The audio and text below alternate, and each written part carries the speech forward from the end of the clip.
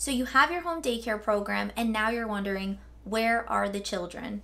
I was in the same position myself. So in today's video, we're gonna talk about some different ways that you can get clients for your home daycare. So I know that it may sound a little bit cliche when I say that getting the word out there will help you to get daycare clients, but it is true. Wherever you go, you should always try to brand yourself and let people know that you love children, that you're starting a home daycare, and that you're looking for clients for your home daycare. You never know of who in your circle of friends or family or people in your life are looking for quality, reliable childcare. Making business cards is also cheap and easy and it can also help to spread the word for your daycare.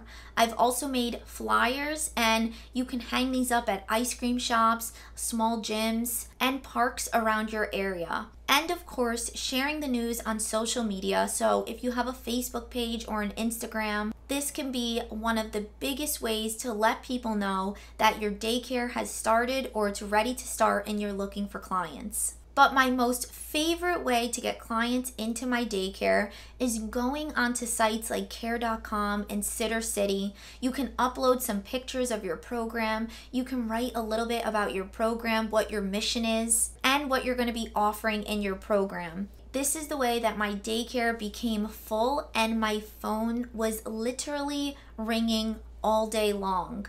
I did have to pay about $10 a month to be on Sittercity, but it was so worth it because my phone was ringing constantly. You can also pay for a background check right on these sites, which will make your childcare center stand out. You can also make a business page on Instagram or on Facebook, share some pictures of your program, let parents know what you're going to be offering, what your curriculum is, if you're going to be doing weekly themes, or what it is that you have to offer. And the last tip that I have for you guys when looking for clients for your daycare is to always be genuine and actually love what you do. When you love what you do, it's going to show, and people are going to be so attracted to that. Parents and guardians can really sense when somebody has a passion for what they do.